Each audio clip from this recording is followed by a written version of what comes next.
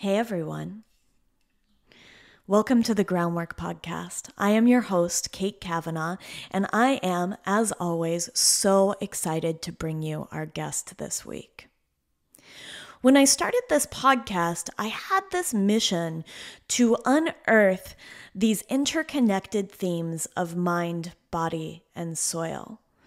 I have this felt sense that there's this greater puzzle out there that I am trying to solve, and my curiosity is leading me towards these guests, each one of which I feel holds a handful of pieces to this greater puzzle. There's a gentleman who's written several beautiful books, and his name is Charles Eisenstein, and he think he speaks about the myth of separation. Whether that's the separation to nature that we view ourselves as separate from nature when really we are a part of it, or our separation from each other when really we exist as an interconnected whole and collective. I'm really driven to find how all of these things connect, how we can see the macrocosm within the microcosm and vice versa. And my experiences with farming and with regenerative agriculture and with my own health journey has really shown me this glimpse of how deeply interconnected we really are. And I think my guest today holds a really big key when we're trying to understand that interconnectedness. Before I get into that, I want to share a little piece out of this book I'm reading actually for a future guest. It's a textbook called Systems View of Life by Fritjof Capra and Pier Luigi Luisi. And I just thought this really summed it up. So, when we're talking about this idea of separation, we really have been for most of human history deeply connected to nature and its rhythms. We evolved hunting, gathering, seeing the sun, being connected to the earth. And it's really only been in the last couple hundred years and to some extent since the dawn of agriculture 10,000 years ago that we've begun to sort of break from nature. But the Systems View of Life book brought up a really interesting point that Rene Descartes was really at the impetus of sort of this this reductionist view and and this deep break that we had from nature. Descartes based his whole view of nature on this fundamental division between two independent and separate realms mind and matter. And anybody who's familiar with his work will will kind of understand this. And I'm going to pull this quote from Systems View of Life. The Cartesian division between mind and matter has had a profound effect on Western thought. It has taught us to be aware of ourselves as isolated egos existing inside our bodies. It has led us to set a higher value on mental than manual work. It has enabled huge industries to sell products, especially to women, that would make us owners of the ideal body. It has kept doctors from seriously considering the psychological dimensions of illness and psychotherapists from dealing with their patients' bodies. In the life sciences, the Cartesian division has led to endless confusion about the relation between mind and body, which has begun to be clarified only very recently by decisive advances in cognitive science. In physics, it has made it extremely difficult for the founders of quantum theory to interpret their observations of atomic phenomena According to Werner Heisenberg, who struggled with the problem for many years, this partition has penetrated deeply into the human mind during the three centuries following Descartes, and it will take a long time for it to be replaced by a different attitude toward the problem of reality. And as we go into today's podcast, I think that this quote is really important because I truly believe that there is a paradigm shift afoot that we are beginning to overcome this Cartesian division between mind and matter to really explore the interconnections of human health, ecology, physics, and just our great interconnected place on this planet. And I think we see this reflected again in the macrocosm. When I look at the ecosystem and the mycelial networks and networks of bacteria that are having these elegant conversations between organisms across a forest, I know that we are no different than that system. And so, while some of the ideas in this podcast may be new to you, I want you to enter them with a really open mind and a sense of curiosity about just how interconnected we may be within our own bodies at a cellular level, with our environment, with nature, in this space of governing our biology, and out and to with each other. I do want to tell a really short little story about how some of my curiosity about some of these topics that we're going to discuss today came up. But first, let me tell you so, Carrie Bennett, who is my guest today, is absolutely incredible. She is a powerhouse and compendium of incredible knowledge about our bodies and our environment. And she just radiates energy and light when we speak with Carrie, we're exploring the depths of circadian biology, exclusion zone water, EMFs, the quantum model of human biology, grounding in electrons, artificial light in our environment and how it's affecting us. I like to call this junk light. And Really quick at the beginning of this podcast, what I wanted to do was to share the story that led me into being curious about this work and some of the quick and easy practices that I have to help me better connect to these things that we don't discuss in the podcast. And so, whether you want to come back to this after you listen or you just want this really quick primer, either way. So, first, this story. Some number of years ago, my husband went out of town and our Wi Fi router sat behind the wall of our bedroom, right behind my head. And when he went out of town, I moved to his spot in the bed and I slept better. I thought this was really curious. And I reached out to my husband and I was like, oh my gosh, since you have gone out of town, I'm sleeping better. And I had this whole indictment. It must be something to do with him. And so I don't know what we're going to do, but sleep is so important to me. And when he came back, I decided that I wanted to stay on his side of the bed. And so he took my side of the bed and he began sleeping rather poorly. And I was thinking about all the different variables that might be influencing this when I thought to turn off the Wi Fi router at night. Lo and behold, we both slept incredibly. And ever since then, with this, this in of one anecdotal evidence, I've been really curious about our relationship as humans to being an electrical being. We are electrical beings, and we are having interactions constantly with different electrical things and their electromagnetic fields. And we're going to really dive into this in the podcast, but I wanted to share with you that I had this experience, and that is what has led me down the road that I am currently on. One of the things I really want to note is how many of the practices that Carrie discusses in this podcast are actually free. So they require no money.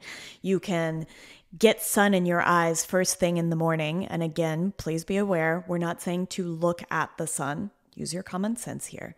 But to get light in your eyes first thing in the morning, preferably at sunrise or within 15 minutes of waking, this is free. To put your feet on the ground and to gather electrons from the earth is free. And we talk about some things about mitigating your exposure to EMFs or to your Wi Fi router. One of my biggest tricks for this is to actually just put your Wi Fi router on a, an analog timer that you would use for Christmas lights. And I'll link to this in the show notes. You can get them for $8. It's super easy, and you can just begin to see if you sleep better at night when you remove this variable. The other thing I highly recommend is that you deeply consider switching your LED light bulbs, which are filled not just with blue light, but also with flicker, which is going to be this rate of the light sort of vibrating. And it's usually subperceptual, but you can find this if you use your phone camera to film them on slow motion. That actually agitates our nervous system. And we really see this flicker really only occurs in nature if we are running through the forest in all of this dappled light. And I, I, we've really worked to change our light environment within our home, oftentimes using candles or amber burning Edison bulbs. Or you can even get LEDs that are specific temperatures and don't have any blue light and have been tested for flicker if you're if you're really passionate about energy saving bulbs. And this has made a really big difference in our light environment and is a fairly low cost way of doing it just slowly transitioning out all of your light bulbs. And then one step up from that is getting blue light blocking glasses. Uh, I think especially for those of us that work often on computers. I'm on a computer right now. I have blue light blockers for the daytime, and I also have a set of blue light blockers for nighttime that really sets me up to maintain the melatonin in my brain. You're going to learn so much more from Carrie. And so, all of these are just little pieces that you can begin to put together to create a better connection to your health and to begin to shift your environment to explore that relationship between your health and your environment. And then we are given this beautiful gift of nature, which is free. And you'll hear Carrie and I talk about this in the episode. And when we say nature, we're not saying like drive three hours to a forest, but just go outside and stand on a patch of grass. It can be that simple. And so, so many of these practices are free, which I think is really exciting. And so much of it really begins to change your health. And Carrie exemplifies this. She is one of the biggest wealth of knowledge that I have ever interviewed on this podcast. And I was just floored at her. And so, if you, like me, you want to learn more from Carrie? She has a beautiful course called Connect to the Light, and you can get 15% off using the coupon code KATE, K A T E 15. And again, that will be in our show notes. I can't wait for you to hear this episode. If this episode helped you connect the themes of mind, body, and soil, will you do me a huge favor and share it with any family or friends that you think might also benefit from the incredible wisdom Carrie has to provide in this episode? I also run a special where if you leave a review on Apple Podcasts and send me a little snapshot of the review on Instagram or at kate at groundworkcollective.com.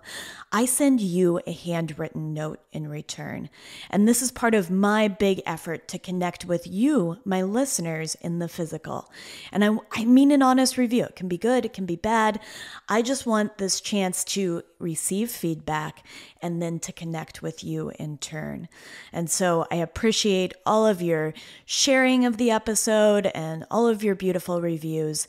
And without further ado, the incredible Carrie Bennett.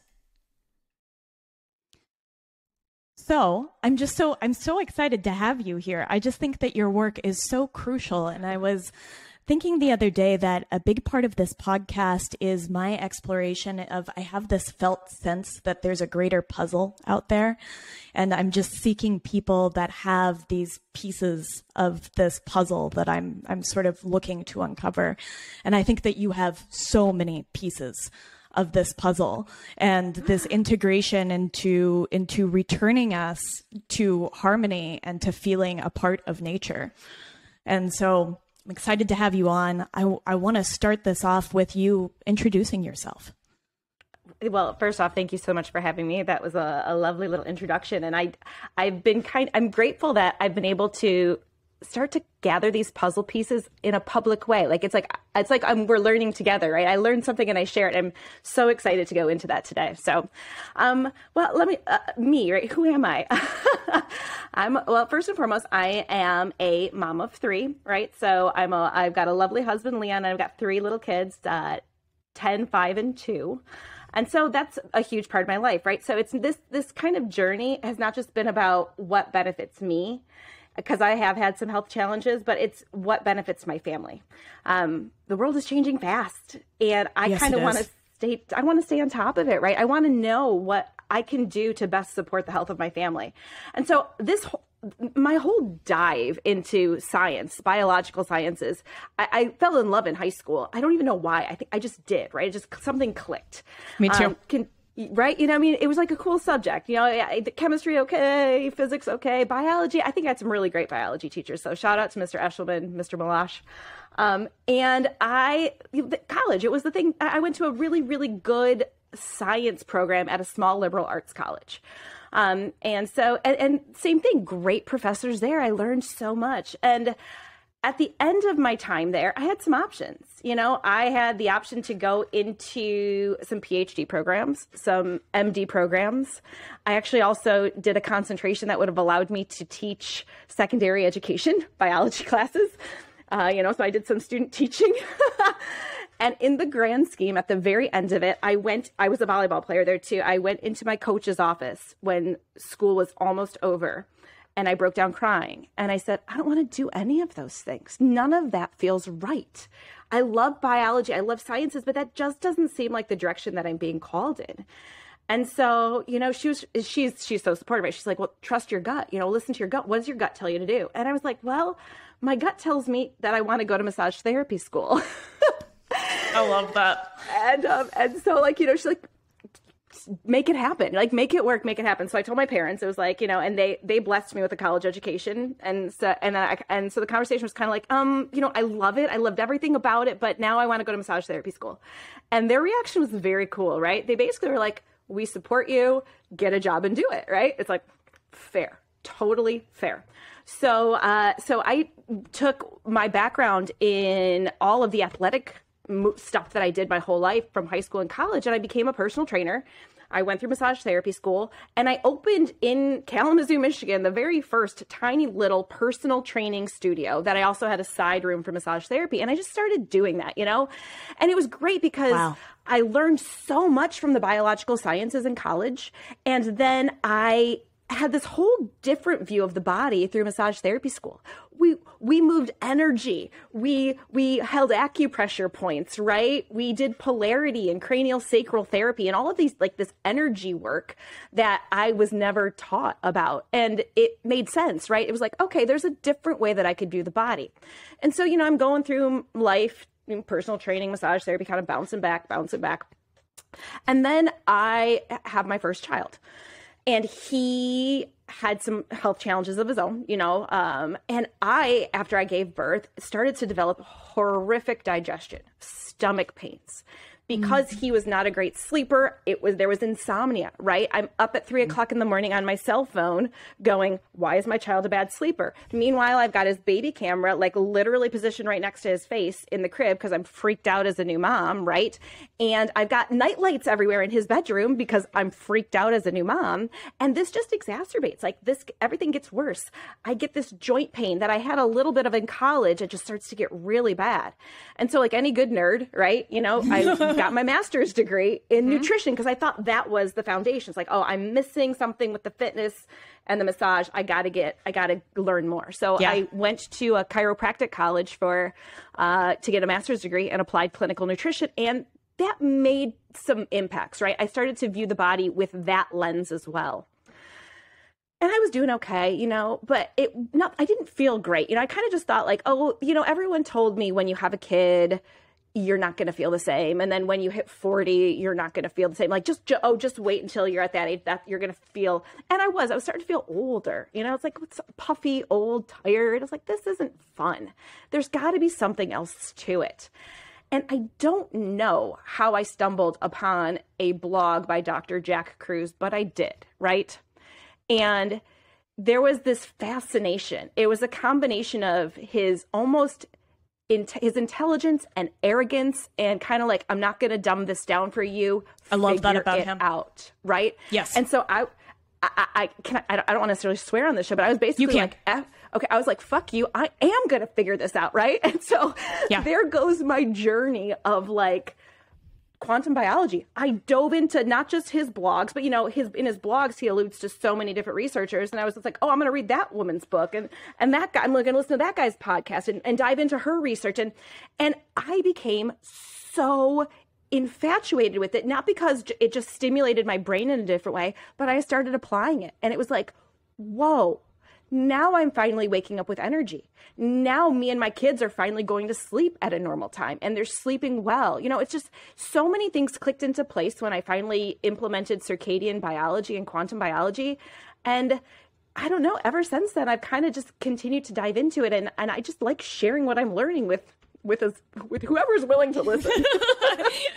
I love this and I love these journeys that start as sort of an experiment of N of one where you're mm-hmm. just on a journey to to look at your health differently and the health of your family and it leads you down all of these many rabbit holes. And I think we actually share some similarities. I spent seven years in college working on a biology and physical anthropology degree and then left to go be a butcher, which felt about as as relevant.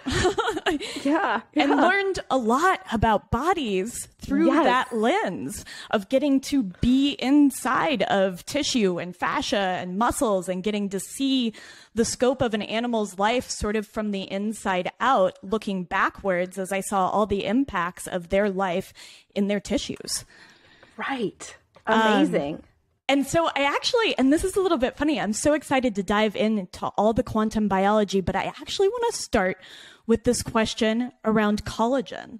And I think as, as a butcher, and I've seen how foundational, I've seen the macro makeup of collagen throughout a body in terms of connective tissue and fascia and ligaments. And that says nothing for the microscopic level that collagen is appearing.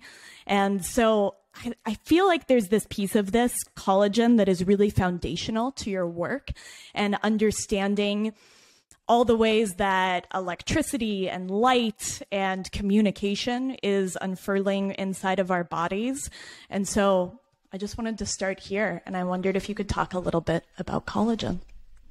Absolutely. You know, um, it wasn't a piece of the puzzle that I was actually ever thinking I would look into when I got into quantum health. Um, but it's the it's the piece that really connects the dots, if you will, all throughout the human body. And so what what I love about fascia is that it's everywhere. But the problem with Western science, and as you probably know, based on your dissections and stuff or your butchering, right? Same thing. It's it's called different things in different locations. Mm-hmm. Like you said, when when when it connects a bone to a bone, it's a ligament. When it connects a bone to a muscle, it's a tendon, right? And so we've we've reduced it into different things, right? Different different structures, if you will, based on its location. But what we now know about the connective tissue, it's literally a web that goes everywhere from the macroscopic, right? Like the band of connective tissue that we can feel in our iliotibial tract or maybe in our back, you know, the thoracolumbar fascia. Um, all the way then deep into the cell. It crosses the cell membrane via these proteins called integrins. So, you know, it goes from this fascia to the extracellular matrix around the cell into the cell through these proteins. Inside of the cell, it's the cytoskeleton, goes through the, the, the nuclear membrane, right, into the nucleus, where it is the nuclear matrix, and it actually ta- attaches everything all the way down to the DNA. So when I realized this, it was a, oh gosh, I've been looking at the wrong systems for a long time in terms of what do I need to do to optimize human health. It's my nervous system matters. It does. My cardiovascular system matters. It does. But when we're talking about being able to tap into a system, an organ that literally connects everything, everywhere, the fascia, the connective tissue had to be it for me. And so that's when I went into the rabbit hole. And the researcher who I think has done a brilliant job at really sharing fascia and, and its and, and, and its connectivity is James Oschman, Dr. Jim Oschman. Who actually wrote the co-wrote the book Earthing, right? So he's he's kind of in that that that realm, and he also wrote an energy medicine book. So it, it's very fascinating. He's kind of anchored in this this realm of of you know uh, physical anatomy science, you know, with energy, and uh, he termed it the living matrix, and I love it. It is mm, a living matrix. That's beautiful. And then when I discovered that it was that, that that this collagen, that this fascia that goes everywhere is surrounded by water, and that that water is important in this whole quantum talk. Uh, that's that's where you know I'm in love. Basically, I could talk about that all day. yeah, and I think that there's this beautiful, I mean, just this beautiful interconnectivity that's happening within our bodies that is then able to translate what's coming in from our environment and to sort of begin to have that conversation at a quantum biological level. And I wanted to I, first, and this is this is on a really personal note, as I've been I've been reading this textbook called Systems of Life by Fritjof mm. Capra. Oh. Um, who also wrote the Tao of Physics and mm. is just a really fascinating gentleman. And it's sort of looking cool. at ecology through the quantum model. And through that, I've been thinking a lot about when we broke into this linear methodology of thinking. That around the time of Rene Descartes and Newton and Cartesian mathematics and this sort of initial foray into physics, there's this idea that everything is linear. We take a really mechanistic view. It's very reductionist. We're looking at these disparate parts instead of the interconnected parts of the whole.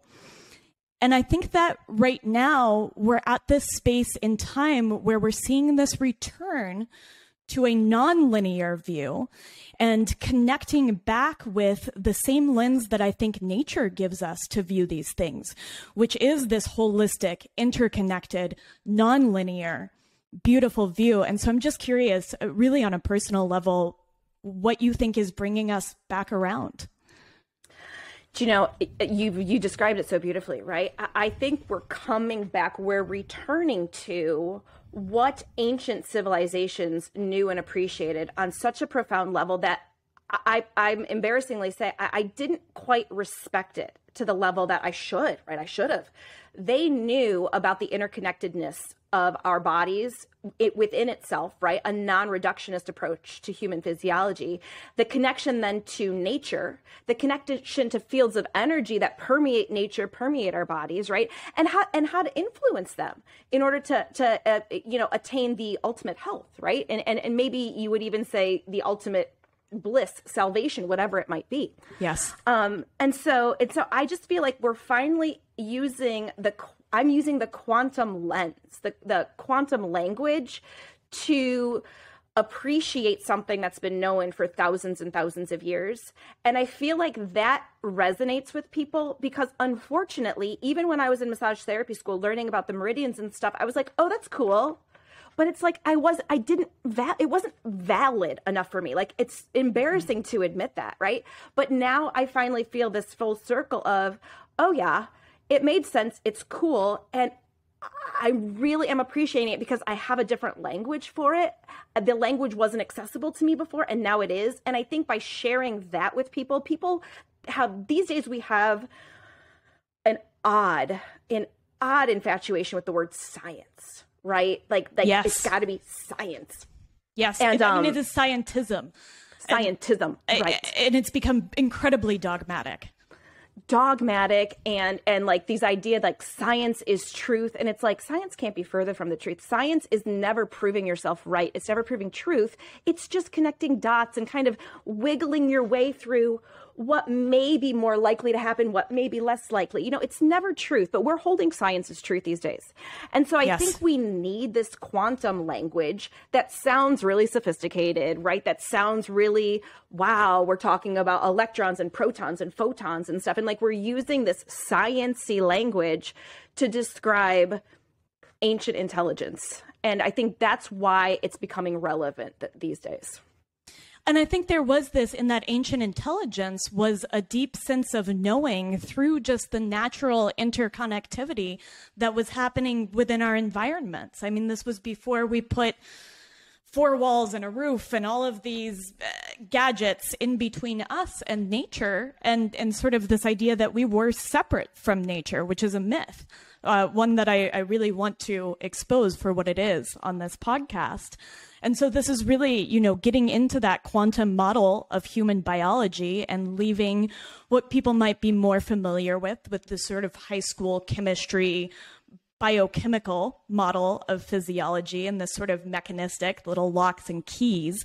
I'd love for you to talk about quantum biology from your view. And I know I wrote this down this morning from, from the Systems View of Life book that I'm reading, where he says, in quantum theory, we never end up with any things. We always deal with interconnections. This is how the new physic re- physics reveals the oneness of the universe.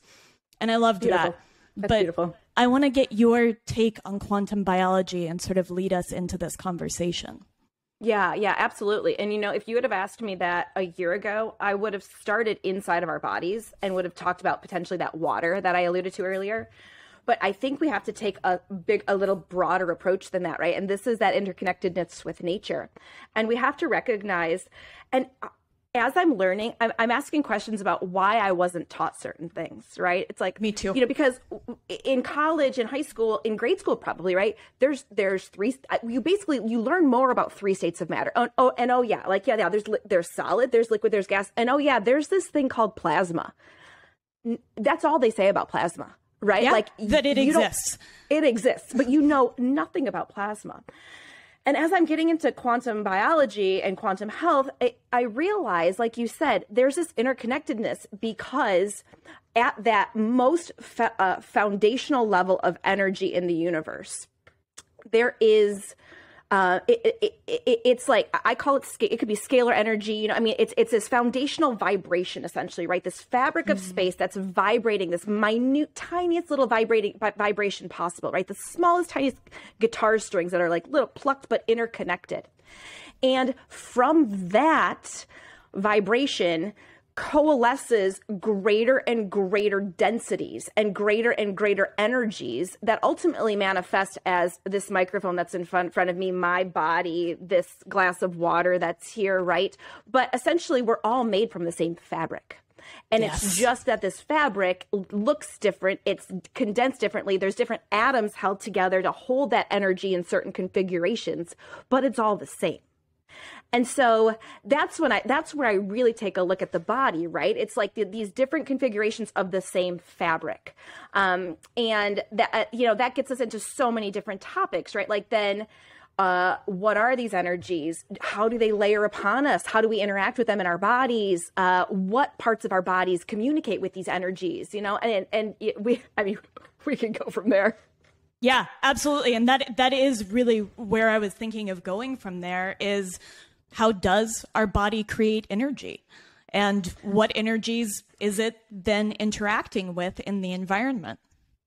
Yeah, absolutely. So let, us start about so in in quantum health, I think the best way for people who are really starting to wanting to dive into this, I think the best way to the best thing we can do is talk about the conventional paradigm of how we get energy and then how I think we really truly get energy, which is through that quantum health lens. I love this. Yeah. I always think it's good to sort of uncover that conventional idea before uncovering the sort of novel concept. Absolutely, absolutely. And, and so I think conventionally we've all learned, right, that we get energy from food, right? We eat food, that food is our energy. Um, all food gets broken down into ultimately electrons, right, that go to our mitochondria. And we've all heard of the mitochondria, you know, eighth grade biology, something like that. The powerhouse of the cell, mm-hmm. right? It's driven into us that it's the powerhouse of the cell. Every lecture I teach, I always say, what is this picture of? And someone says the powerhouse of the cell. So we all know that, right? Um, and so why is it called the powerhouse of the cell? Well, it takes an electron and it kind of funnels that electron through various steps in something called the electron transport chain. And step five happens to make a substance called ATP. Um, and I feel like th- that's kind of where we get to that reductionist, I agree. Uh, hierarchical approach too. Is like, oh, the the fifth step is ATP, so that must be the most important thing that gets made, right? The end product. Um, and so then all of a sudden there was these calculations, and someone somewhere calculated that ATP has a high energy phosphate bond, and because ATP contributes to biochemical reactions and to proteins and stuff like this biochemistry mindset, the assumption was that ATP donates energy from one of its bonds, and that's the energy that's used to spark chemical reactions, right? Enzymatic reactions, chemical reactions, you name it. Um, and it was actually disproven a long time ago, uh, at least 50 years, I would say, by a researcher named Gilbert Ling, who has had the equivalent of a PhD in quantum mechanics, physics, mathematics, biology, chemistry, biochemistry, right? Like brilliant, brilliant human being.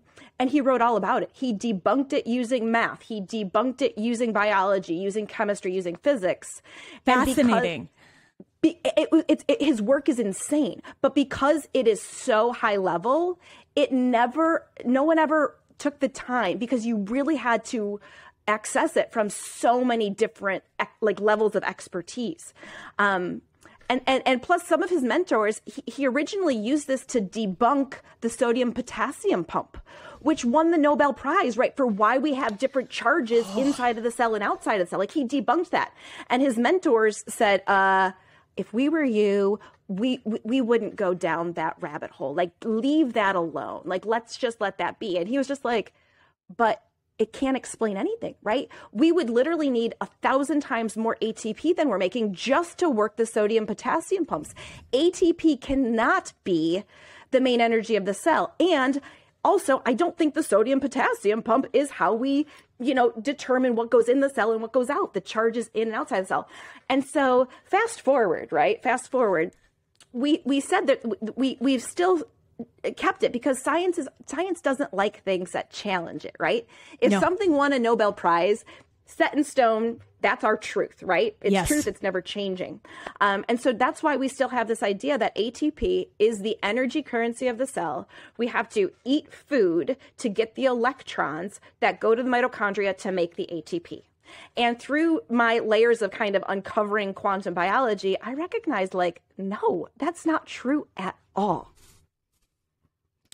I love this. And I love these moments in science. I talk about a lot about this from a meat standpoint, oftentimes, mm, where we mm. get stuck in a certain dogma. So whether that figure is Ancel Keys getting stuck in a saturated fat dogma, this lens that we've worn for the last 50 years, and we become deeply embedded in it and sort of unable to see our way out. And I think true science is a process of evolving and adapting and exploring new information as it comes in, which I think it, it is at this time, constantly coming in.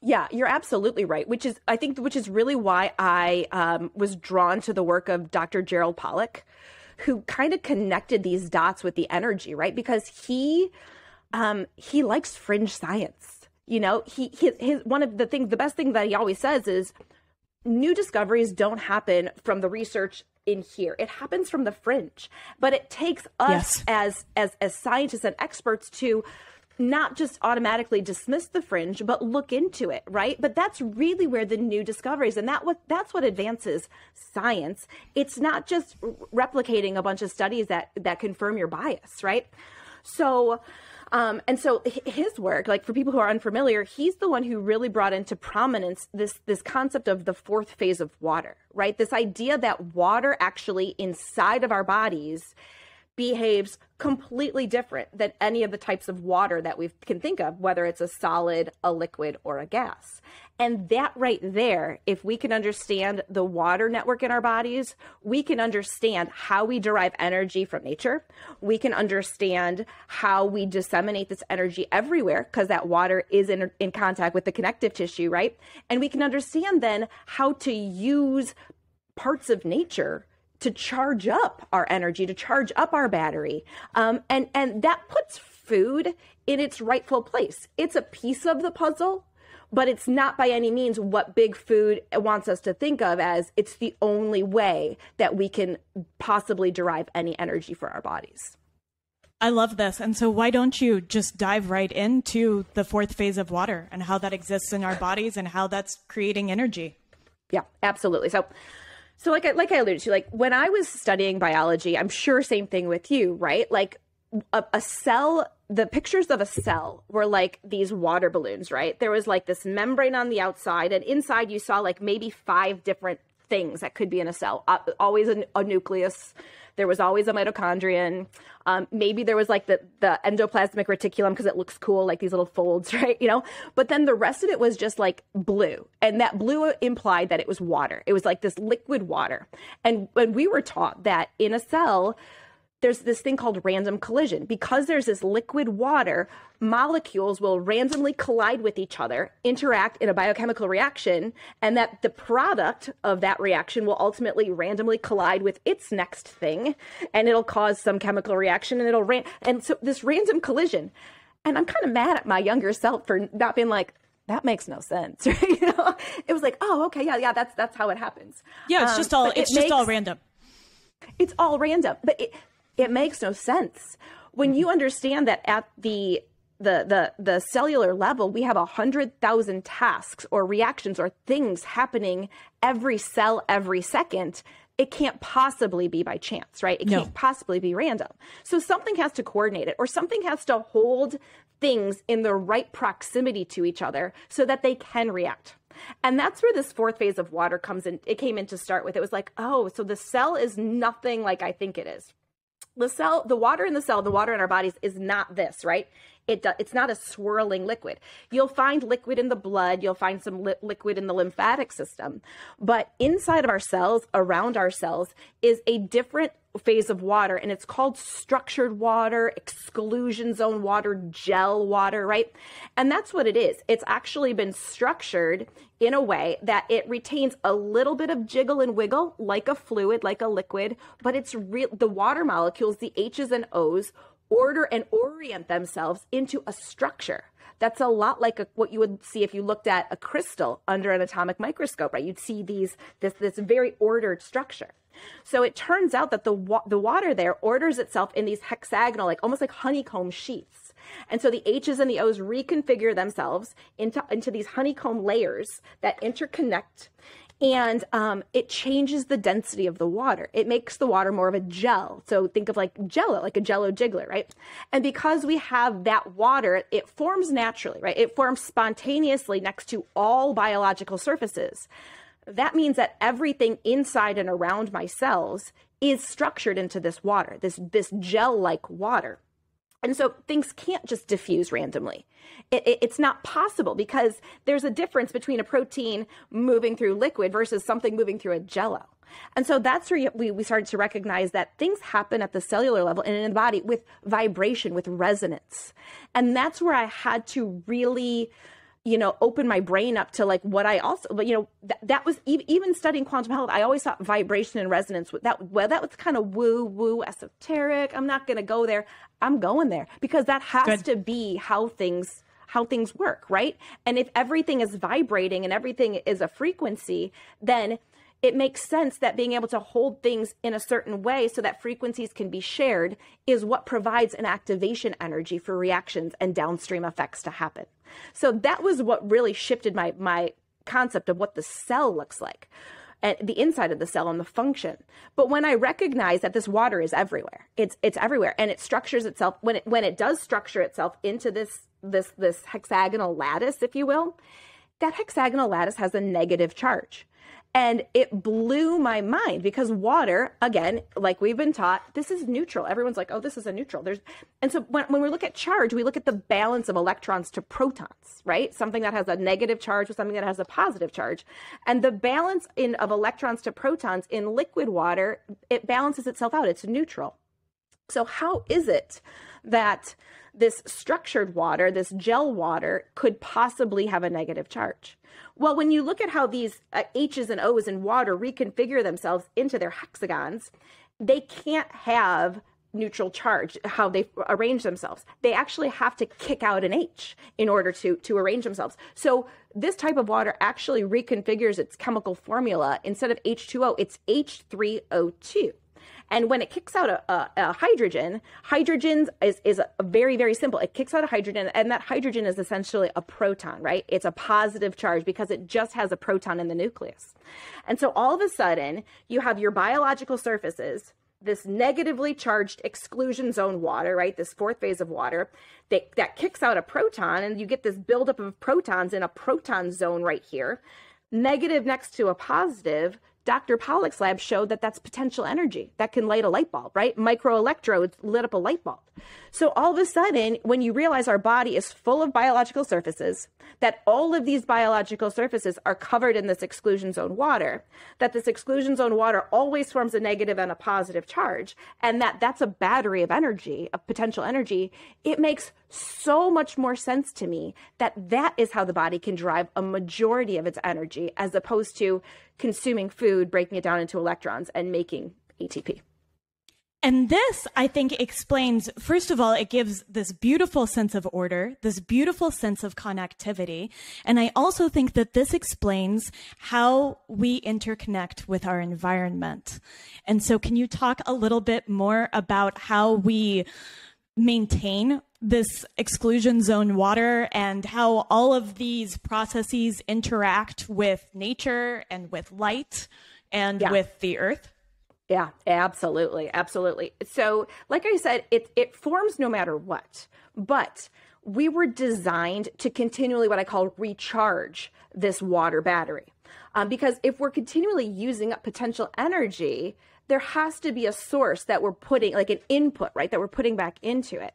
And so the research in Pollack's lab showed that infrared light, specifically around 3000 nanometers, but there's a spectrum, right? Infrared light, which is a wavelength of sunlight that's always present whenever the sun is out, from dawn until dusk.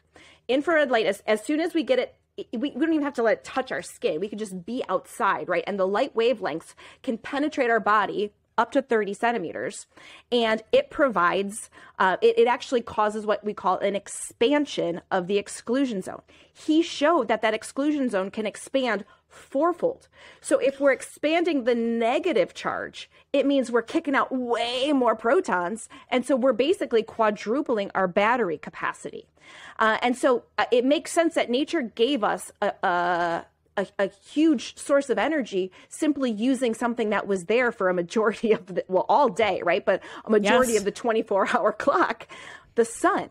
Uh, and just because and, and, plants do plants do this but to to a different extent right? Plants go through photosynthesis where they also the water captures a photon of sunlight and but the water splits completely right? You you split an oxygen and you split a it splits completely we don't split the water completely. We just kind of expand and shift and change the arrangement of it um, to create energy, right? So it's a it's a very similar process, but just slightly differently adapted for humans or and, and for a lot of living living creatures for that matter. So it's really, really cool. If I can just go outside at any given time and quadruple my battery capacity, then why wouldn't I do that? How much easier is it for me to have derive energy from sunlight that way as opposed to, you know, before modern food convenience, before having to hunt some food, right? Like, and if I could gather something, it'd probably be pretty measly, right? Yes. And so it makes sense that I would be able to uh, derive energy in that way. Why would nature say, oh, it worked for plants, photosynthesis, right? It worked for plants for millennia, uh, millions of years. Why not like was, why why would they say let's reinvent something completely different for humans? Um, and it mm. turns out that then also touching the bare earth. So earthing, right? Grounding, another thing that I thought was woo woo, uh, which isn't, right? We, we do conduct electrons from the surface of the earth into our bodies. So, uh, earthing has been shown to also ex- expand the exclusion zone, but earthing also is just an infinite source of gathering electrons into our bodies. And so, not only does earthing charge our exclusion zone battery, but earthing also takes those electrons and can funnel those electrons into the mitochondria as well. So there's an alternative source of electrons for the electron transport chain in the mitochondria, which, by the way, step five I said makes ATP. Step four makes water right? Step four makes water. This is this is where we said water is a byproduct. You know, everything I bet you you've taken enough biology and biochemistry classes, right? Oh, water is a byproduct of that reaction. Like ignore it basically. We make water in so many ways and it's not a byproduct. Water is what we need. And now we understand it through the lens of quantum biology and this exclusion zone battery of potential energy. And it makes so much sense that there's so many byproducts of water throughout all of our body. Everything that we do is a, makes a byproduct of water. And so, um, so there you go. Those electrons can expand the exclusion zone, but then they can go on to make more water in step four of the mitochondria. So we're just kind of reinforcing this cycle. We're making more intracellular water. Oh, step five also makes infrared, right? And ATP. Step five makes infrared. So the mitochondria are like our own little nature, right, inside of us because they can make the water and the infrared that also helps us structure it and expand our water battery. So eh, it's wild, right? It is so wild, and I think it speaks to the incredible elegance that nature gives us. There, there are no waste products. Everything is being utilized. And I, I have a next question, but you just said something that really struck me that these mitochondria are really synthesizing all of this, but mitochondria actually existed outside of us initially. And so is there a link there with how mitochondria evolved to be a part of our cellular structure and Absolutely. what they're doing? Absolutely, right. So mitochondria did, they used to be, the endosymbiont theory goes that they used to be their own little bacteria that were free, their own little free bacteria. And um, like billions of years ago, right? We're talking a long, long time ago. And that in that earth, that condition of earth, right, that aqueous condition of earth, the oxygen was less available, right? There were no plants yet. There were no there were there were no plants to be able to provide oxygen. So so what happened was these mitochondria somehow were able to very effectively as bacteria extract oxygen from their environment, uh, their harsh environment, and use that to make water and heat and all of these things that could reinforce the energy inside of them right as their own little independent creatures. Um, and so then all of a sudden the theory goes along came a bacteria another bacterium that said man i'm like i'm really bad at, at extracting oxygen but i've got a really strong outer shell. These are harsh conditions in early earth. How about you hop in? I'll protect you. I'm not going to worry about energy production. You can make the atp the water the, the infrared and on we go. And so then cells evolved more and more complex life, complex organelles, and then you have us today, right? These very, very complex multicellular organisms. Um, but so, yeah, exactly. And because they existed outside of us at one point in time, not only do they retain the ability to make that water because they needed it themselves and the infrared, they're also very keen sensors of their environment. And so we again, Newtonian reductionist approach, we've only considered mitochondria the powerhouse of the cell. But now we really know that they're like this central conductor, right? They're directing traffic. They can sense energy fields um, in various in various really key ways, and they can respond their own energetics, and then they can signal from with biophotons and things like that to the DNA, to the lysosomes, you know, to to, to the cell membrane. Like they can do signaling. So they're the hub of the cell. And it's because they can adjust the energy production and they can do a lot of signaling because they can sense everything that's happening inside of us and around us. And so they're sort of serving as this go between between us and our environment, which is really what's informing and governing all of our biology. And so when you talk about some of the frequencies, some of what they might be sensing outside of their, their cellular matrix, what might some of those things be? Yeah, absolutely. It's it's a great question, and these are layers that I'm still uncovering. But what I'm what I'm seeing with this is that these mitochondria, um, because they're full of exclusion zone water, exclusion zone water, so in the mitochondria themselves, and I'll talk a little bit about why I think the mitochondria are key, but all throughout the body. In uh, this exclusion zone water in physics would be termed a liquid crystalline substance, a liquid crystal, and it's what we have. That's why we had why we have LCD displays, right? Liquid crystalline displays in in televisions and things, because liquid crystals have been studied for a long time for technology, but we now know that there's biological liquid crystals too and this water inside of us is structured into a liquid crystal. So why, why is that important with with sensing things, with sensing energy fields? Liquid crystals have been studied and well known to be able to interact with electromagnetic fields. And so what what what are we but just pr- we produce a ton of electromagnetic fields. The the the frequencies of light around us are electromagnetic fields. There's vibrations happening that are that are electromagnetic fields and frequencies and um, you know the speed with which our heart our body is pumping blood is its own electromagnetic field. I mean there's we're we're basically just walking balls of electromagnetism and something and we're in a world that's a big gigantic globe of electromagnetism something had to be able to sense that.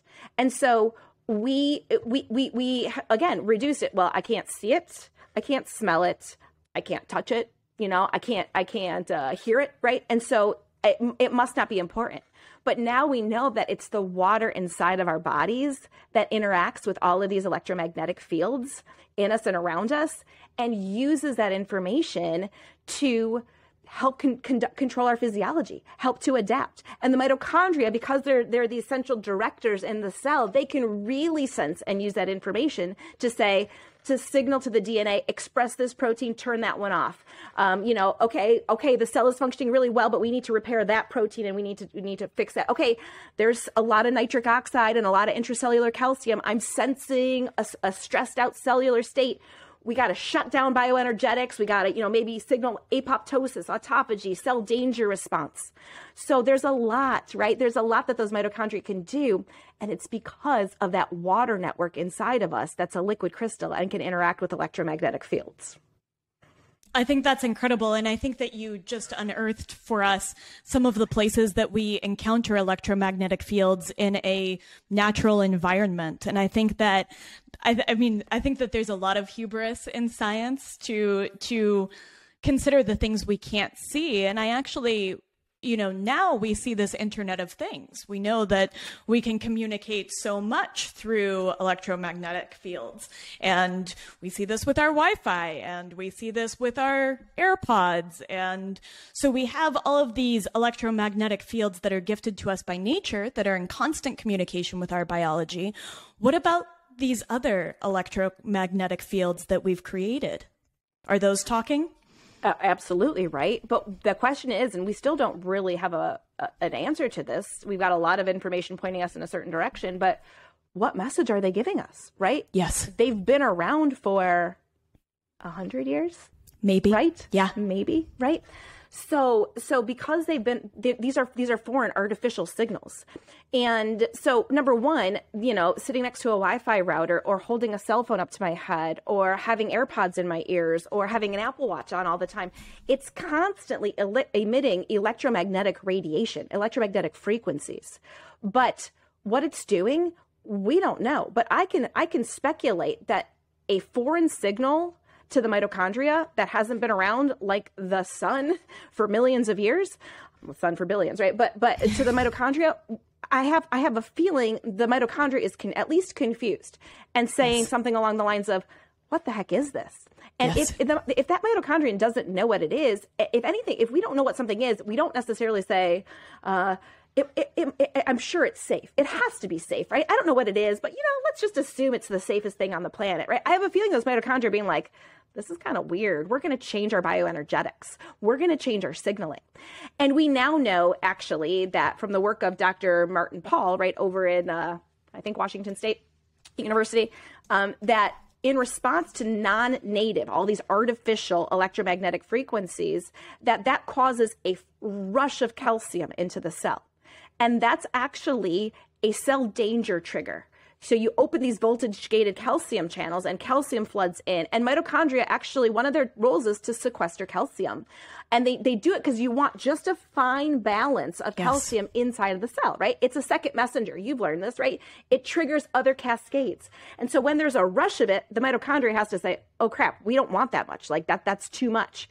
And if there's a ton of it, like what's happening with the non native electromagnetic fields and opening these voltage gated calcium channels, all of a sudden that mitochondria is like, oh, we're in trouble, right? And so it definitely starts to signal. Uh, it releases more reactive oxygen species, right? It's like that. That's like these reactive oxygen species are like this biophotonic symphony that originally kind of looks like a little, maybe it might look like a little ping here and there, but when those that calcium floods in, that's a full blown, you know, Fourth of July firework finale, right? It's boom, boom, yes. boom, boom, boom, boom, boom, and these reactive oxygen species, we need some, right? We, yes, we, they're we, important. They're important, right? We we've we've wrongly assumed that they're horrible all the time and they cause aging, and we've tried to suppress them to not a good effect. So we need some of them.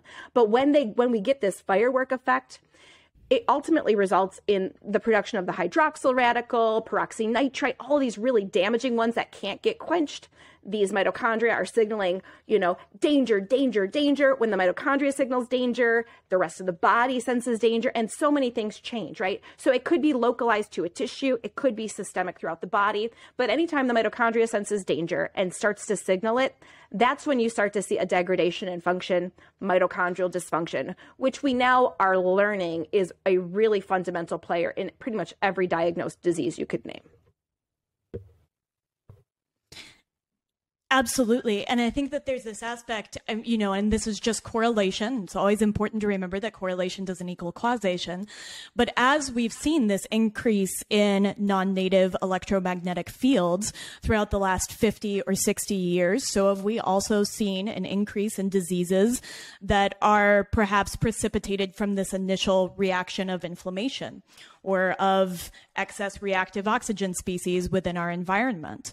And so, you know, I think that there's, while there's just a nascent understanding of this, I think it would be hubris to not consider that these electromagnetic fields might be interfering with our, our delicate and fascinating biology.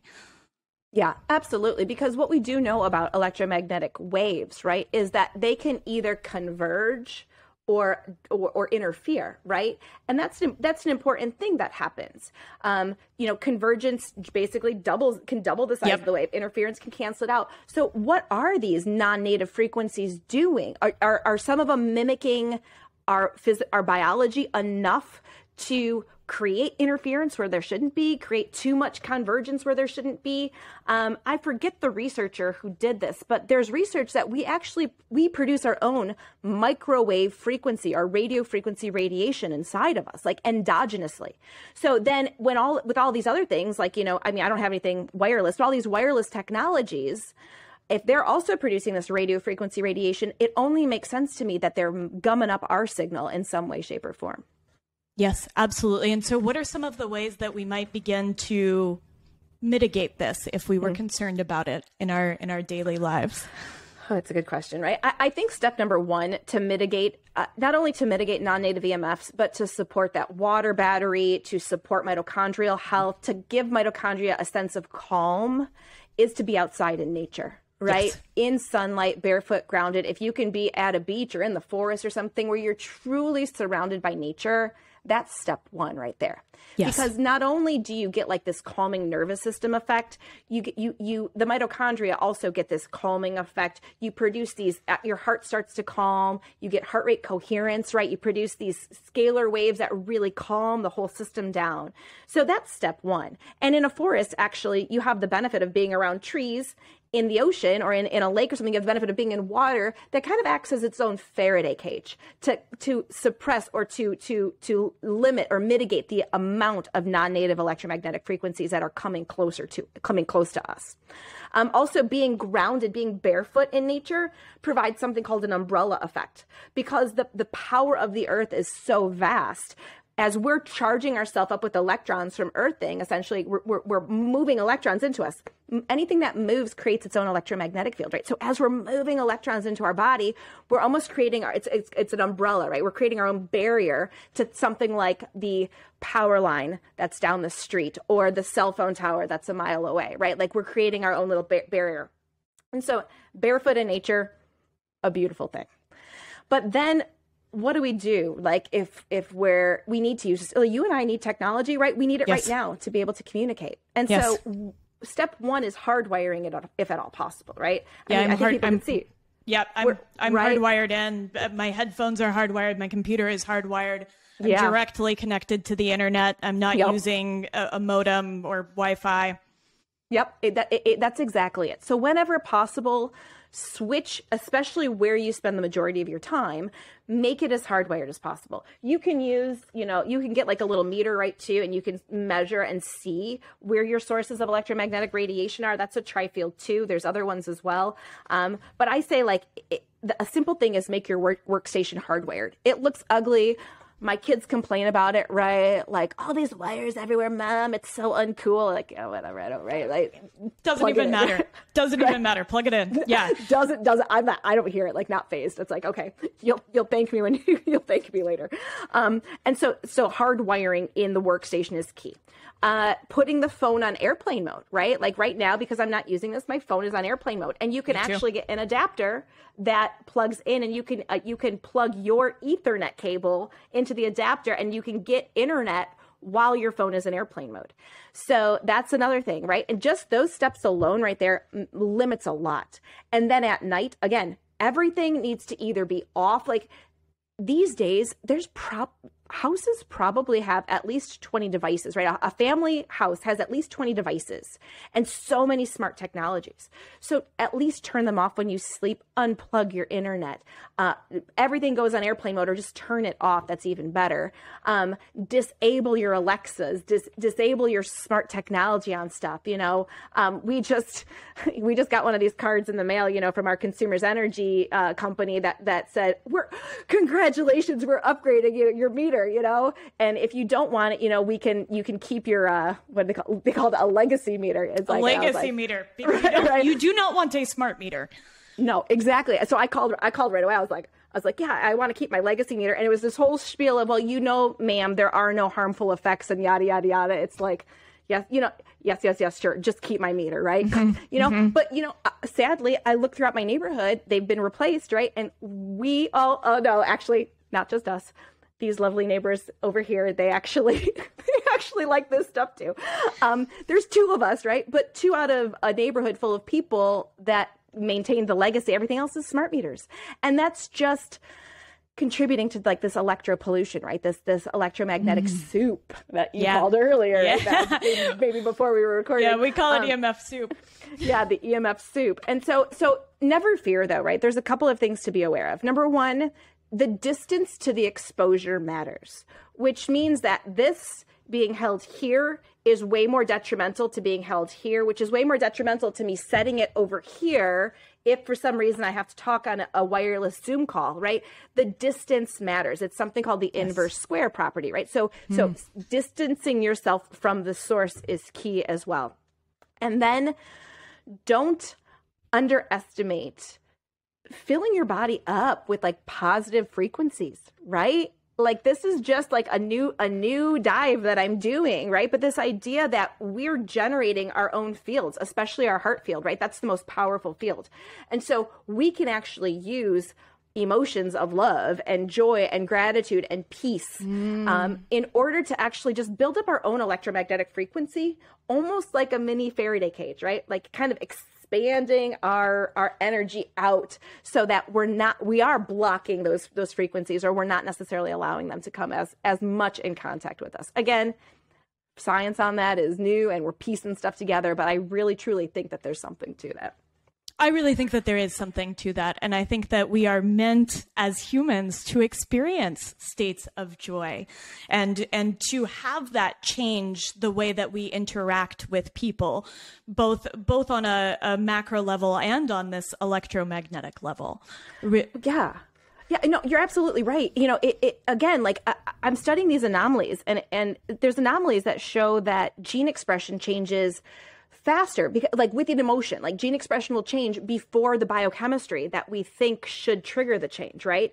Or mitochondria will change their bioenergetics before some sort of biochemical cascade should have triggered it so there is something to be said about our emotions impacting our physiology in ways that we don't understand. But we Absolutely. do know that if we do know that positive emotions are associated with health and negative emotions and stress and fear are associated with potentially disease disease right mm-hmm. and and so i think I, I don't think we can underestimate even though we don't fully understand i don't think we can underestimate that at all Gosh, I just I agree so completely, and I think that uh, one of the things my husband and I talk about is finding joy as an act of rebellion.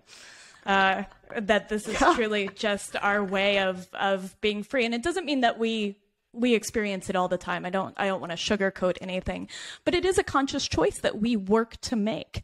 That there are times when I am not feeling it, and I I, I work to step into that state and to make that decision to be there. Absolutely, you know, and it, it just just knowing just or, or, or putting it elevating it elevating joy or laughter or something just a little bit higher in terms of its importance to our health it it changes what I want to do at the end of the day. Like, do I want to watch the news? I mean, I haven't done that in years, but do I like may, maybe if ever? But do like do I want to watch the news with all the the the depressed the depressing stories and fear mongering, or do I want to uh, read a book that like you know a really good story or do i want to go for a walk or do i want to play tag with my kids or like even if it's a rainy day do i want to watch a do i want to want to watch a funny movie with them right like do i, I like yes. what am i choosing to do yes and I, and I make different choices just because I know that my emotions are actually driving a really important part of my physiology. I'm going to pause right here. My computer came unplugged and it's dying. And so give me two seconds. Sure.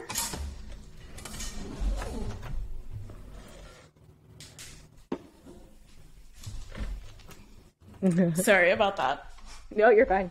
Um, I think that this is so important, and it is. It's just choosing and choosing laughter. I, I, my husband and I talk a lot about play. I know that we just did a podcast together, and we talk a lot about this aspect of play and laughter and joy. It's so a big part of my life, and I think it's something that we should be incorporating and considering through this lens of health. I wanna. I, I, I want to take a, a side street and I want to dive into circadian biology a little bit. Oh, yeah. yeah, yeah. And I was wondering if you might walk us through what a day of light looks like as we move mm. through morning and afternoon and evening and then into darkness.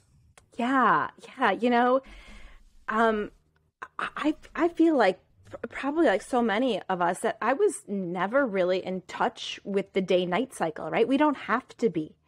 I can make it as bright as I want inside. You know, I can make it as I can, you know, all, at all times of the day, right?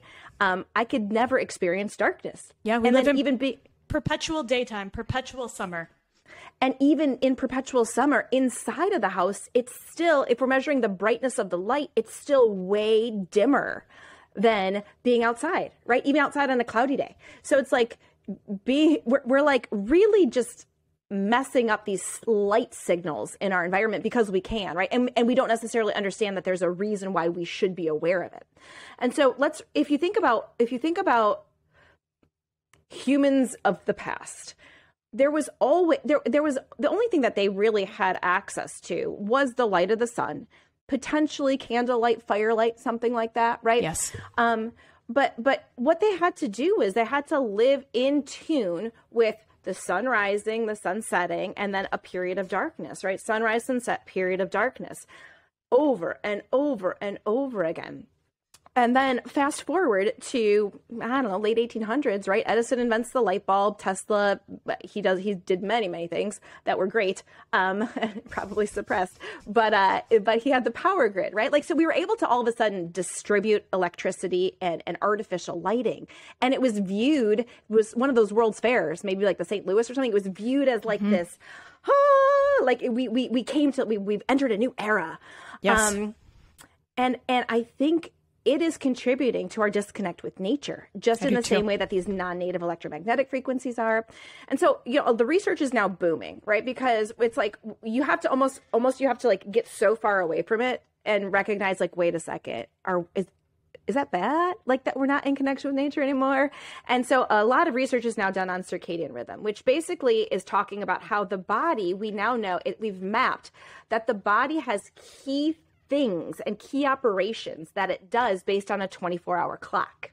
You know, makes sense, right? If I've got 100,000 tasks happening every cell every second, I, I, I should optimize those tasks to the time of day, right? Yes. So and we we evolved with light uh, that was present in our evolution, and so it's going to make sense that that is going to be part of the force that shaped us.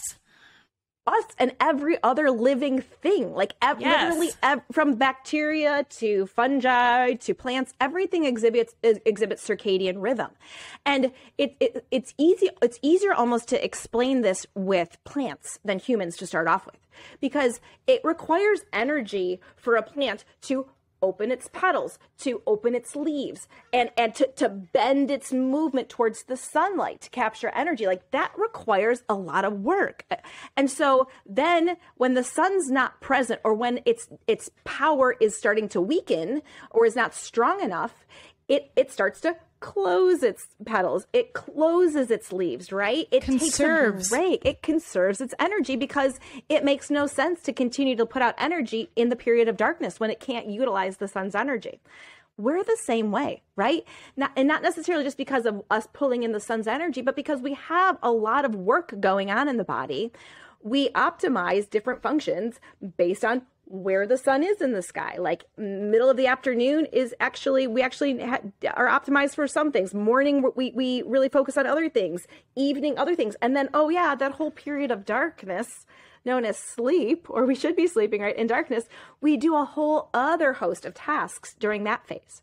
And when we're in tune with the day night cycle, when my eyes are exposed to natural light naked eyes, right? Not wearing these glasses, but when, when my naked eyes are outside and I'm exposed to the natural light, my brain can tell me what time of day it is and it can it conveys that message to every cell in my body which then changes clock gene signaling and other signaling to optimize function based on the time of day right?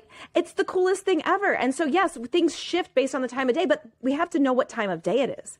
And the problem with living indoors is if we're under, let, let's picture a typical office space, you know, fluorescent lights that never change, crazy blue lit screen that never changes, right? So we're in this perpetual time like that never happens. Nothing it's like these weird light frequencies. Not number one they never mimic the sun right? They're these no. weird blends of light and they never change. So it's a really confusing thing for the brain because it's like what are, are we stuck like in time? Like what's going on you know? Is it just noon and, forever? Right is it noon forever right? Should we just make sure it's like be noon? That's exactly what's happening right? And so the right now you and i have been talking for about an hour or so and i can't consciously perceive a huge change in the light, right? I know things have shifted maybe a little bit. Um, but if I, you know, being, if I were outside, my eyes would literally be able to tell my brain the time of day to the second, right? To the second yes. of the day. So, um, so that's what's important because we have to be able to optimize all of our functions and sync them up to the light. And then when the light's not there, like in the absence of light, we have a whole bunch of programs that we run while we sleep, again, to kind of set us up for success at the start of the next day. And we're living in this period of just circadian dis- dysfunction, this, this n- lack of connection to the, to the fluctuations of sunlight. And it doesn't matter if it's sunny, cloudy, rainy, foggy, snowy. Being outside, we get the light signals no matter what, the changing light signals no matter what. Um, and our body needs that.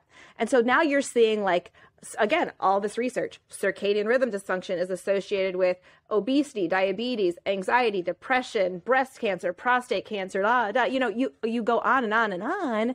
Um, and it makes sense why, right? Because when the when the when the cells can't tell or when, when we don't know what time of day it is again this goes back to like those non-native electromagnetic frequencies when we when when the mitochondria and the cells sense something's off it doesn't assume all is good let's thrive it goes more into like that danger mode, right? And that yes. means again more reactive oxygen species the wrong so more inflammation the wrong signaling to the dna et cetera et cetera driving that chaos driving that mitochondrial dysfunction cellular dysfunction and disease i think that this is so important. And I know that one of the things that led my husband out here to farm was this opportunity to work outside and to get to work in close co creation with nature and to have this better chance to connect to nature, which I think is the master regulator of our own biology. And this really started for me many years ago with seeking out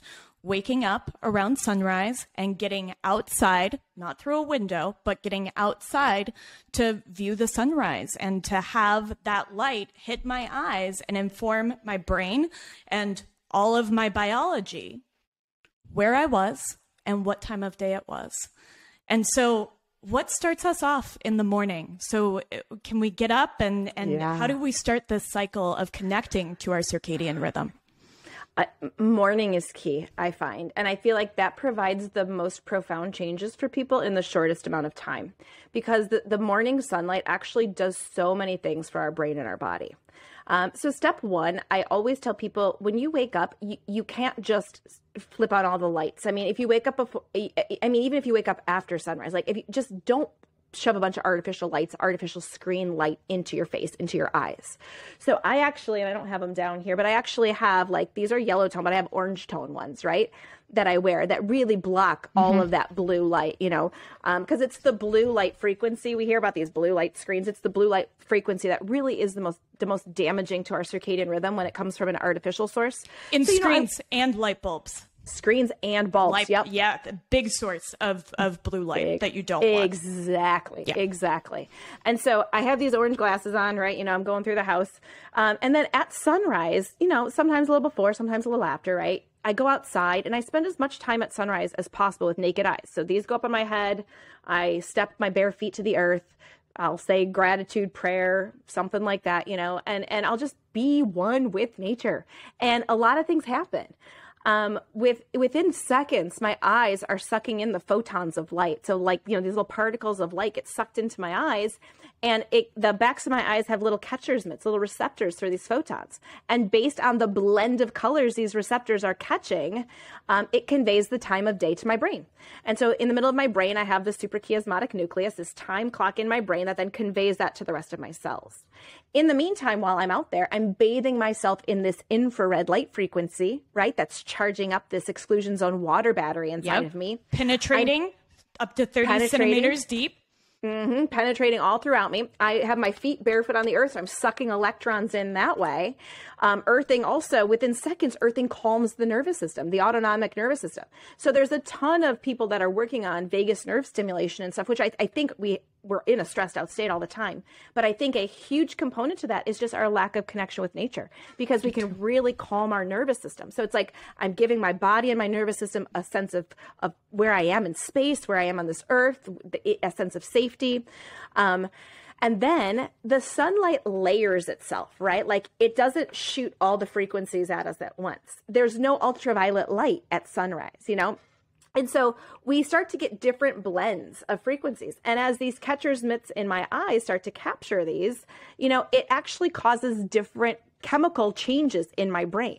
So uh, when blue light becomes most dominant, right, shortly after sunrise, when you get this blend of blue and red, it starts to wake up hormone centers in my brain. So my hypothalamus, right, my pituitary, I start to make these hormones. My mitochondria actually sense that signal and start to make pregnenolone, which is one of my main steroid hormones, right? That then can be it can be more cortisol, it can be my sex steroid hormone. So it's like in the morning I can take this snapshot and you know my mitochondria are like is Carrie stressed out? And do we need to like funnel pregnenolone to cortisol? Or is Carrie calm, copacetic, well fed, got enough body fat to, you know, can she make a baby? Right. And so then it goes in that direction. I love that. Um, and I love it, it's almost like the stem cell of of hormones this master hormone and and there it is it can go wherever you need it and these decisions are being made on a second to second basis based exactly. on the input from your environment Exactly. And so if I'm in a natural environment, getting the full blend of light, all of the uh, good electromagnetic frequencies,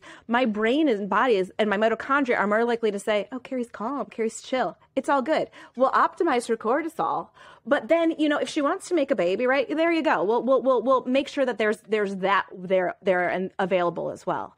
Um, as opposed to when we flip on artificial lights, it's big in the blue, but it contains almost no red, right? Red and infrared used to be in incandescent bulbs, but they're considered energy inefficient, you know, and so we got rid of them, right? We got rid of them because they're energy inefficient.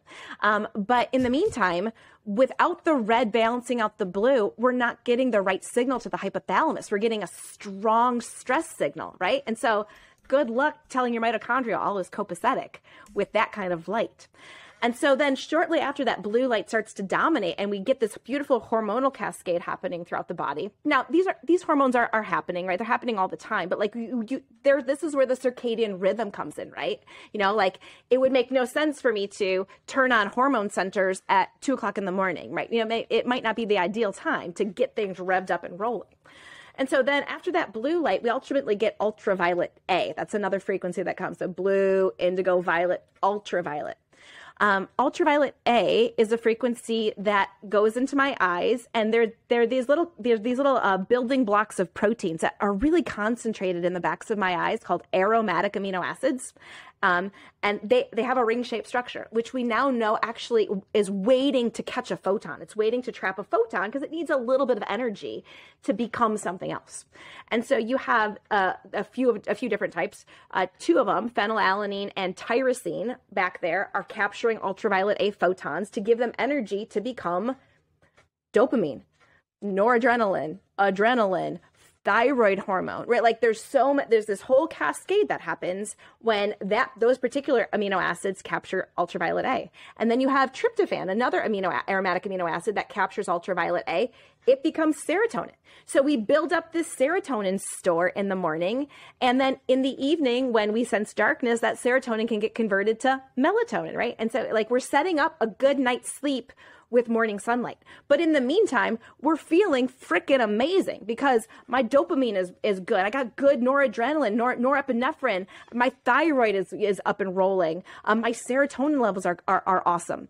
And this then nature's cup of coffee nature's cup of coffee exactly like it's it, it, people are amazed at how much energy and just focus they feel when they capture these wavelengths of light. It's like a game changer. And it doesn't take a long time, right? In an ideal world would be we'd be outside for the first three hours of the morning all the time, right? And and never have to work or take care of kids or whatever.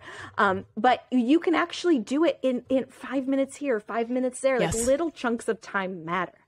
And then lastly, if people who are inflamed or people who are in pain, another chemical in the brain called POMC takes that ultraviolet A light and breaks itself into different downstream chemicals to uh, make beta endorphin, right? Endorphin runners high to make uh, to make things that stimulate fat utilization, libido, right? So, okay, you know, Carrie's got calm and copacetic. We're going to funnel pregnenolone into progesterone and estrogen, that balance. We're going to up her libido and she's going to go for it, you know, make that baby, you know. Um, but also anti inflammatory chemicals like ACTH, which is like a, a, corticosteroid, right? We get steroid injections to lower inflammation. Um, beta endorphin also helps to suppress pain. So when I hear people who are, like I was, right, inflamed, tired, puffy, lethargic, lack of focus, brain fog, you know, just all of that stuff. It's like, wow, like one simple shift to really prioritize morning sunlight into the eyes can be so profound in so many ways. I really think that this is this is so vital and I think that the the lack of re- regulation that we have within our circadian biology really speaks to this disconnection that we experience with nature. But it is something that we can recover in little light breaks throughout the day, little little bits and chunks as we begin to sort of rewire that connection. And something that you really talk about that I love is this idea of light as a nutrient. Mm-hmm. Here is this other way that we are gaining both energy and this communication that's happening with our environment that is governing our biology. Absolutely. You know, no one would deny that there's that people can get vitamin C deficiency, vitamin A deficiency, right? That we we got technical terms for these things, right? We know that you can get a nutrient deficiency, a vitamin deficiency, but we don't have any words for when we're not getting the red light or the infrared light or the ultraviolet light. Like we don't have words for that, but that's exactly what it is modern living, modern glass block. It just so happens to block like all of those key frequencies. It blocks a lot of the infrared. It blocks a lot of the red. It blocks all the ultraviolet, right? And so living indoors behind glass, we're totally deficient in key nutrients from the light, key frequencies of light that we now know go into our bodies and interact with our eyes and our skin and our mitochondria in so many ways that we need. It's an absolute requirement. So uh, I look at, I do, it's a light deficiency that we're in right now. We have got circadian deficiency, light deficiency, electron deficiency, and it's just from modern living indoors. But w- when we're looking at the quantum scale, right? The, when we're looking at things that are influencing things at the proton, photon, electron level, it works non-linearly. You know, you you talked originally about like this linear mindset with, you know, Descartes, Newton, this linear mindset, yeah. right? The coolest part about quantum influence is that it works non-linearly. So small inputs of the right kind can actually have this beautiful cascading effect. So it's not like when I'm tell when I tell myself like I got I want to get stronger at push-ups and I'm just going to do 3 push-ups every day the rest of my life and I'm going to get way stronger at push-ups. It's like no, that's a that that's a linear process. To get stronger at push-ups, I'll do 3 today, I'll do 4 tomorrow, I'll do 5 the next day, you know, and I'll build up strength in a linear fashion. But with the nonlinear uh, fashion, three minutes of getting morning sunlight at key key windows of time, first thing at sunrise, uh, when there's UVA light appearing, when there's UVB light there, you know, that makes vitamin D in our skin. If we can make those three minutes count in terms of when we time them, that's nine minutes. And it's super profound compared to just doing three push ups, you know, for the rest of my life. It's a very, very cool thing to understand the nonlinear effect at the quantum scale. I love that. And I, I think that that brings it back to this piece of when we begin to step into this nonlinear thinking modality, that we can really begin to see science, to see biology, to see our connectedness, to see our unity through a very, very different lens. And that actually leads me into how I wanted to to kind of begin to wrap this up with, which is talking about our disconnection from nature. I think so many of the things that we've talked about, whether it's building exclusion zone water and interacting with electromagnetic frequencies, interacting with light, all of these things speak to this, this disease, this dis-ease that we're feeling as, as a collective really coming from this disconnection from nature. And we talk a lot about this on this podcast that we've we've just broken and not only that, but we don't view ourselves as part of nature. That we are a really important force within this interconnected web. And so I just wanted to see how all of this speaks to that disconnection for you. Uh, it, it, I mean, it, it speaks so profoundly, right? Because everything about indoor living it, it, it, it's a barrier. Indoor living really truly creates a physical barrier from all of those things you talked about. Um, but when, and it's, you know, it's it's not always easy, right? Like it's easy to get sucked onto a phone screen and just scroll, scroll, scroll, scroll, scroll, right? But when you start to recognize how profound it is to be outside. Then small like making those little shifts like you know i, I literally had clients who I, I am not i'm obviously not going to name names but i think we're so phone addicted i said step one use your phone outside barefoot under the sun right? You know with with, with a red like slightly red filter on your phone yes. right like let's like like like and that one step alone was enough to be like they felt better. They realized they didn't have to take their phone outside anymore. They actually wanted to go outside and, and never never thought about you know need, needing their phone, needing social media, needing needing a distraction. And so I think as we start to implement more experiences outside, it, it doesn't even it doesn't even have to be nature. Like I think sometimes there's a barrier when we hear nature. It's like oh, I got to drive to that forest yes. where I could hike a mountain. You know, yes. I got to drive to the beach where I can touch the sand. It's like, no, where where do you have a tree that you can sit next yes. to? Where is there a little piece of p- patch of grass that you could stand barefoot on? Yeah, you you got gravel, right? I get people who say, "Well, what about pebbles?" What about sit on the rocks, right? Rocks yes. are nature, you know? And so you you start to do it conveniently for you in your in your neighborhood, in your city, wherever it might be. And you start to recognize something is different about me. I feel different when I'm out there. I want to do it more. It's something I look forward to. And that's where you're starting to recognize wow, like I'm finally returning my body to where it feels most at peace, to where it feels most energized, where my brain feels the clearest. Um, and then just if you start to get into this quantum aspect, you start to learn through the quantum lens and quantum language all the cool things that are happening.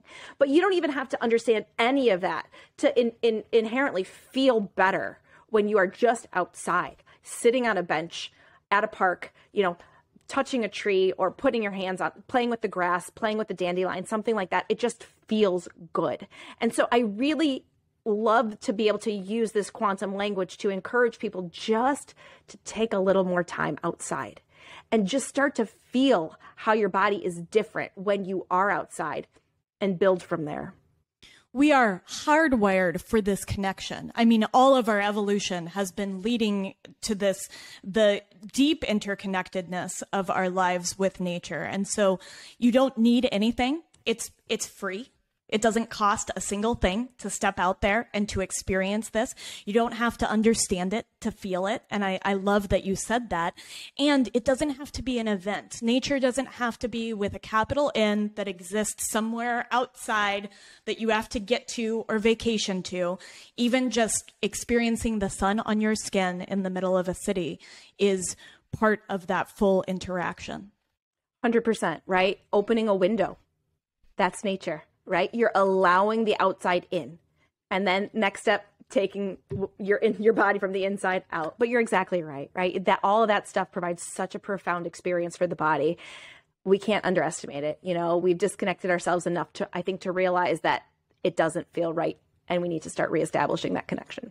I think there's a void. There's a void there that we're all looking to fill. And I think that we give a lot of names to that void. We give a lot of pathologies to that void in, in modern society. And I think that what it really is, is just that disconnection. And I think it's amazing all of the pathologies that we can begin to heal when we step back into it. You know, you're absolutely right. And it, it it's it's it's very interesting that both sunlight builds dopamine and serotonin and you know these kind of feel good neurochemicals that we hear all about. But unfortunately the same the wavelengths of blue light from the screen are that's the same thing right? Like we become addicted to these screen technologies. Mm. so it's really easy to, to it's really easy to think we feel good inside really it, we think we feel good when we hear that ding or we you know someone likes our stuff or you know, like we think we feel good with that. Um, but it's an empty it's an empty feel good. Like it's a, it's it's a, it's this overburning of these dopamine tracks right? So to, to this extent where we're always needing the next like the next notification the next whatever it is to feel better and better. And that's not how it works in nature. You get that same or even a greater, more profound dopamine hit, a more profound serotonin hit.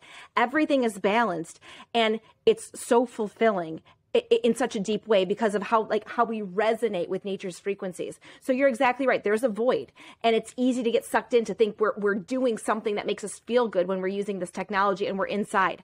But you can get so much more in terms of those same dopamine reward pathways when we're just, you know, under sunlight, naked eyes, connecting our bare feet to the earth.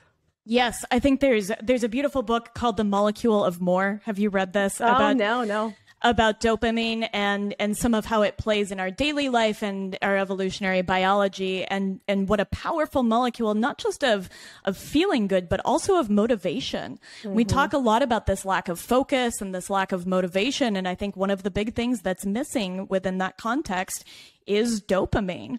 And and it's such an incredible molecule of evolution. I know we've talked about this on the podcast, but it was really built when we would find suddenly a bush full of red berries, full of sugar.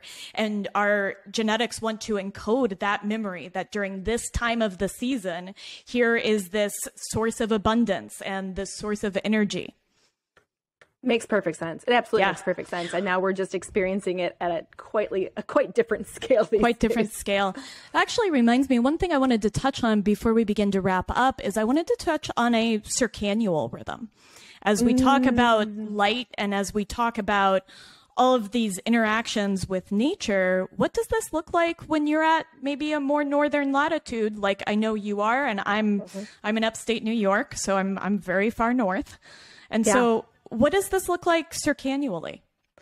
yeah you know we don't we don't talk about that a ton but it's and and it has really only been within the past five years that i've been seeing every sunrise and you know going outside more that i recognize that oh this is when the sun the days really start to lengthen or oh this is when the days really start to shorten oh and now the sun is here in the sky whereas the last time it was there you know what i mean so it's like you start to recognize that yeah. all of those are signals that the body uses but for those of us especially at northern latitudes there was always preparation at some point for a period of cold and dark and scarce.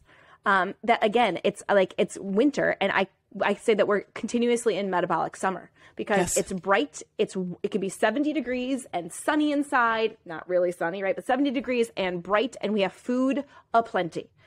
And there is a need for metabolic winter, just as there is a need for metabolic summer, right? The body prioritizes different things. Summer is about finding and building and gathering, not just finding and building and gathering in terms of shelter and finding food and stuff, but it's like we're building our strength back up. We're, uh, you know, we're putting on some uh, like some storage for for for the potential for food scarcity, and this especially builds up when the the sunlight starts to wane more towards the fall, right in the fall. And so we have this difference in like we hear we hear these days. It, it's kind of a pet peeve of mine now that I kind of understand this differently. That everyone has the vitamin D deficiency in winter. It's like well, yeah, I, I- I think they're supposed to. And I think we're only testing one marker. So is it really a deficiency or is it a shift in metabolic processes? Are we going from vitamin D high metabolic winter to or metabolic summer to metabolic winter when maybe melatonin should be more elevated?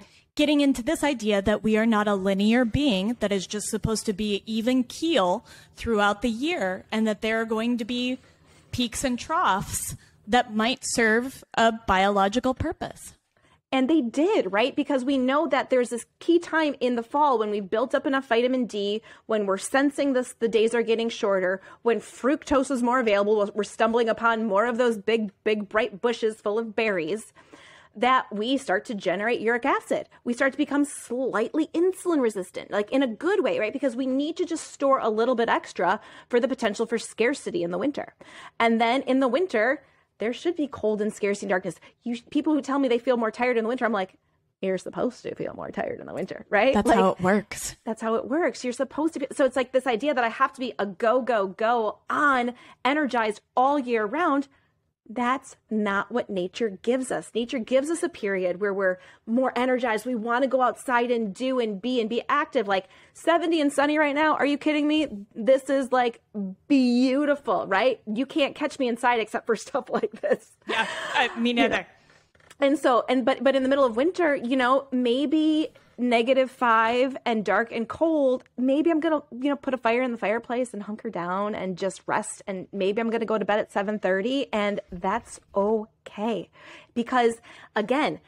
The, the, the circannual the circannual rhythm it's like vitamin d and melatonin i also find that these things it's interesting when you look at the research they do similar things like a vitamin D deficiency is associated with autoimmunity.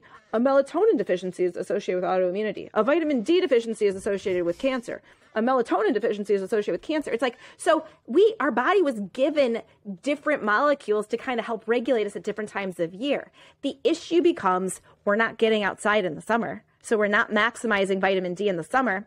And we have artificial light on all winter which suppresses melatonin. So we're not maximizing melatonin in the winter. So we're existing in this perpetual state of deficiency, um, whether it's a true deficiency or not. It's just a perpetual state of not being optimized to what the seasons are giving us.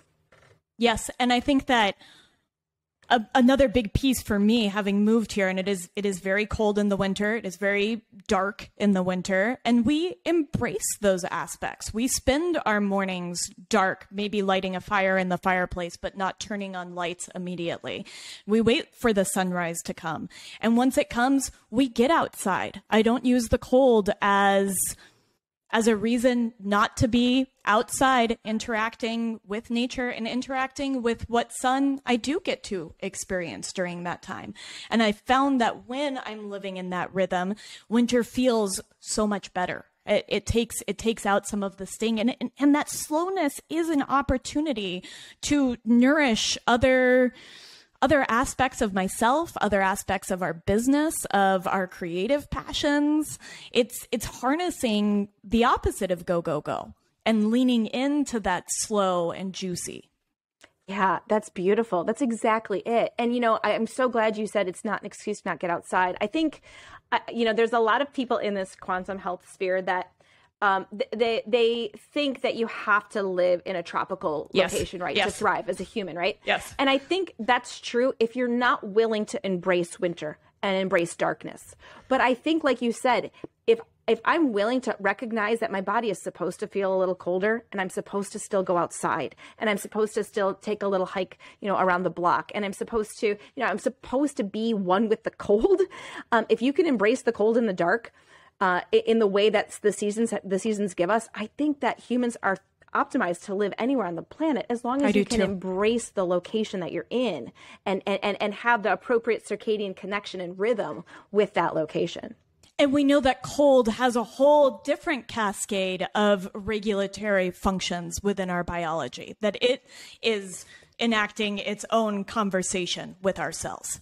Yeah, yeah. You know, like, so in the winter, it's, in my opinion, the winter is the period of massive repair, right? It's like, we what, what do we hear these days? Oh, in order to get into autophagy and repair and heal, you got to fast. Well, what naturally happens in the winter? Food scarcity. Uh, you got to sleep. Well, what naturally happens in the winter? More melatonin, more darkness, right? The potential for more sleep. Um, you uh, uh you're not going to necessarily want to uh, try to build a ton of muscle and exercise a ton, right? Like you know, like that's a build. Like okay, so I'm going to be calm. I'm going to chill.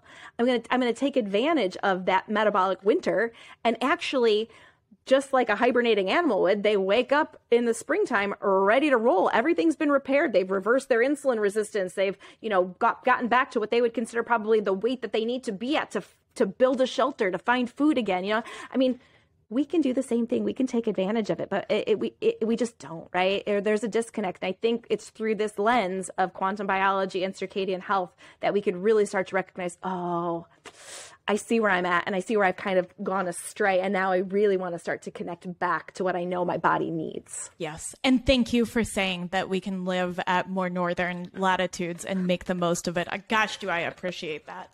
Um, yeah, I, mean, I, I, yeah. I think we can, right? I think we can. I, uh, I just got to embrace it. Just got to yeah, embrace just got to embrace it. I want to talk some about your amazing offerings. I know that you, I think everybody who's listened has gotten a, a taste of what an educator you are, what a hmm. powerhouse you yourself are, and how much information you're bringing to the table. And so you have some wonderful ways that people can connect deeper with you as an educator and as a coach. I'd love for you to talk about your workshops and courses. Oh yeah, thank you. You know, I I do love to teach this. And I and I like to kind of walk the line. I don't want to dumb these topics down, but I want them to be accessible, right? Like it's like I, I love that. I, I, I love that you don't want to dumb them down. I and I think that the, yes, I want to champion this. This has been something that's been hard in, in my work in regenerative agriculture is I want to speak at this level and I really believe that we have the capacity to to find a space within it, even if it takes a little bit of finagling. Exactly. And I think those people who do start to kind of work through this information, they start to appreciate it and apply it and really recognize the importance, right? I, I, I, don't, I will, like, I'm not your person if you just want a protocol, right? Like, that's not me. But what I do love to offer are these online, like little online educational courses and webinars and stuff. So, um, one of the best ways to see all this stuff is through my Instagram account, right? Carrie B Wellness. I post pretty much every day. I have links in my bio to all these courses. Um, I have a series of three courses, right? I've launched the first, but who knows by this by the, when this is this is published if the other two are coming soon. Um, and these are three courses that really tie into exactly what we were talking about. One is called Connect to the Light, so reestablishing that natural connection, then being aware of how we can mit- mitigate our internal environment. Um, another one is called Gather Electrons. So, like, if electrons are the energy currency of the body, what ways beyond food do we do that, right? There's even more like ways that we can actually gather up this energy source for our bodies. And the final one is called Heal Your Fields. So, am I bathing in electromagnetic soup, a radiation, right? Is radiation around me? Am I, are, are my emotions? What are my emotions and how are they influencing my electromagnetic fields and my connection to nature? Am I in one in touch with the Schumann resonance? Like there's so many ways that we can look at at fields of information and, and vibration and energy um, through this quantum biology lens. So uh, those those courses are available either as a standalone. You can purchase all of them. Uh, it's really how I'm guiding clients these days is through that online platform because they're uh, we interact in a Facebook group. We have weekly Zoom Q and A's. I think it's in this group setting that we can provide support and encouragement and accountability Um, I like this idea of interacting with people on a weekly basis, right? You know, to provide that coaching. Um, and yeah, and then there always comes that, oh, yeah, but you know, I'm still experiencing this. And then we can start to shift more into what I would do with one on one coaching. But there are so many foundational things here that I think we need to layer on first. Symptoms change, they go away, the body shifts and changes. It really starts to bring us to, is there still a pathology that we need to address? You know, or, or, or, and if so, we're that much closer to what that potentially is when we get all of these other things in place. So I really encourage people interact with me uh, on Instagram, check out these courses. I have some webinars too. If you just kind of want to get snippets of this stuff, um, I, I think that's a great way to go. But really, it's this concept of educating and really being able to apply this consistently on a regular basis. I like to help people with that so that they can experience what this feels like for their own bodies. I think that there, I love that. And I love that you're creating community around that because I think that that, that even that changes the way that our biology works. We're meant to be in community. And so to tap into that is amazing. And I know that, I know that just even tomorrow you're hosting, and I, I know a lot of my listeners will appreciate this quantum strategies for anxiety and depression. I'm so sorry. That was definitely my internet. I mean, um, it, I, we got through the whole thing pretty well. I mean, I feel like we. It's nice that it was just yeah, it, the, so. and this is this is really typical that it usually it usually craps out at the end. But I want to I want to make sure that we really capture your courses because that was really important. And I don't know, I didn't hear your answer um, around your quantum healing strategies for anxiety and depression. Oh, did, I didn't hear you. Did you ask about that as a, a webinar? Yeah. So, and I wanted to tell people that that's a webinar that you're mm. putting on tomorrow. I know that that's something that will connect with a lot of my listeners. Mm. And so just yet another thing that people can find f- from in your education realm. So yeah, so that webinar on uh, quantum health strategies for anxiety and depression really uh, talks about the circadian and mitochondrial connection to anxiety and depression. Um, so much research is pointing towards circadian rhythm dysfunction and mitochondrial dysfunction as actually being precursors to either depression or anxiety or exacerbating them. Um, and so this webinar is a great way to kind of shift the mindset. Like we we look at anxiety and depression from a chemical perspective, like must elevate serotonin, you know, must must change dopamine. Like we, we look at it from a neurotransmitter balance, and this is actually looking at it from using quantum health lifestyle strategies and using that as opposed to oh this chemical will influence it it's like no what about what am i doing with my lighting what am i doing with my darkness what am i doing with my breathing what am i doing with my earthing and grounding and all of these things that can have an influence on both circadian rhythm and mitochondria I love it. And we'll link to all of this in our show notes. I have one last question that I ask every guest, and that is what does it mean for you to lay the groundwork? To lay the groundwork. Oh, that's a lovely question. Um, I feel like laying the groundwork in this realm, which is such a new field, this quantum biology, for me, it's both a passion. Like I, I, I have gratitude because I get to kind of read a whole bunch of nerdy stuff that I love and put out there information that I think is useful for people. And, I, and I'm really hoping that this quantum health stuff, I guess is what I'll lump it all into, ultimately becomes like this healing modality that everyone, like it's a common term, right? It becomes like, oh yeah, that's quantum, or yeah, oh yeah, it's my circadian rhythm. You know, I just feel like, I feel like the groundwork right now is getting the message out there that this even exists. And then continuing to add to this body of research and this body of clinical evidence and these clinical results that show that every time we do go outside and we do connect with nature, this is all the influences that it has in our bodies, you know, and just to continue to reinforce that. So, step one, let people know that this is a thing. And then step two, just continue to contribute to that body of work because I think this is where medicine and healing and health needs to go. I agree completely. And I am just, I am so grateful for the wisdom and the knowledge that you are constantly sharing on your Instagram, that you took the time to share with all of us today, that you share in all of your courses. You are such an incredible teacher.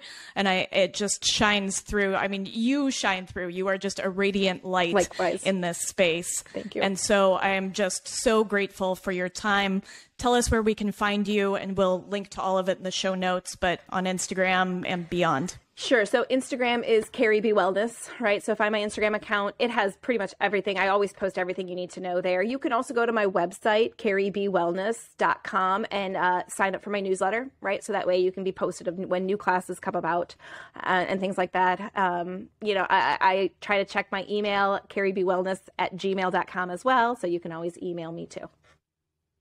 I think that's fantastic. And again, just just thank you for being here. Yeah, thanks so much for having me, Kate. This was so awesome.